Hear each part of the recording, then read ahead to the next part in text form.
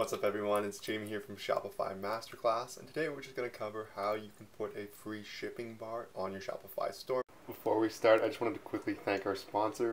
Discover Profit Calc, the affordable and easy to set up Shopify app that crunches your numbers in just one click. It automatically syncs with all your accounts and expenses to calculate your profit, displaying everything in an easy to read dashboard so you understand your business in real time. Start for free on the Shopify App Store today. And so the easiest way to do it and the most cost effective way to do it is with the free shipping bar by Hextom. This is a free shipping bar. It's completely free really and it allows you to add a bar at the top and what's going to do, it's going to count down to the free shipping threshold you have. So if you have $10 of free shipping or $10 and over, you have free shipping. If you add an item with five, that costs $5, it's going to say you have $5 left of free shipping. And what this does is it incentivizes customers to reach that threshold, increasing the average order value of their cart. I have this app already installed on my Shopify store here, and this is the page you get when you first open it up. So first you need to set up your free shipping It's quite simple. If you have already set up, I, you don't need to set this up again, but it's just basically saying that you want to have free shipping based on an order price, so $30, $40, and then the app can customize what it displays based on that. So as we scroll down here, I just clicked create new bar already, and it gives you templates. So there's a premium version you can use, but right now we're just going to stick with the basic template.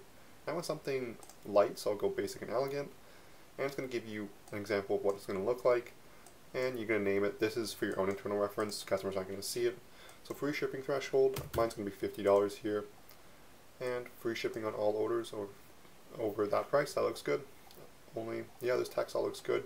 It's quite easy to see. You can add this, the link to the bar as well. And so if they click on this, they might get like an FAQ page or shipping page explaining your rates. I'm not going to include that. And I'm not going to leave it closable because I want customers to see this all the time they're on the website. This also gives you different options on how you can display it. So push down rest of the page, always visible when scrolling. Uh, you can put it on top of the page. Depending how your site layout looks, you might want to customize this to see if it looks better or worse with one of these options. There's also currency too, because if a customer is shopping in USD, you don't want it to give a Canadian conversion for free shipping. You want it to be exactly the best way to do it is the currency of your Shopify store. That tends to be the easiest here. There's also some customization down here on the colors you want to choose. I'm just going to leave them as default for now because I think this looks quite clean, as well as the font looks good as well font size, and you can set it to what pages you want it to display on.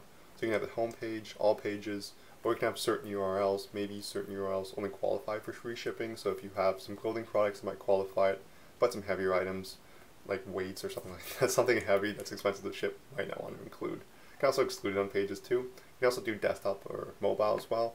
I would leave it on both because I want my customers on this store to see free shipping on any threshold and for all items, so I'm going to leave it there. If you have any geolocation restrictions on shipping, so maybe it's free shipping only within the US, you might want to upgrade to premium just because it gives you that ability to display to US customers versus Canadian customers or something like that. So this is most of what I want to set up. Everything looks good, I think, so I'm just going to click Save, and it should be created successfully. I'm just going to ignore this. And I have my store loaded here, so I'm just going to reload, and right now it should appear at the top. And there it is. Okay, now that we have our free shipping bar, I just wanted to test it out just to see if everything works here. So this item, shorts, very simple, is $30. So if I add this to cart, the free shipping bar on top should show $20 left of free shipping because $50 is my threshold. So I'm just going to click add to cart and then it's going to load here and there it is, only $20 away from free shipping.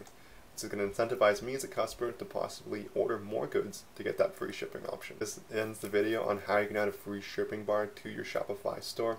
If you haven't yet, click the like and subscribe button below, and if you have any questions, just leave a comment.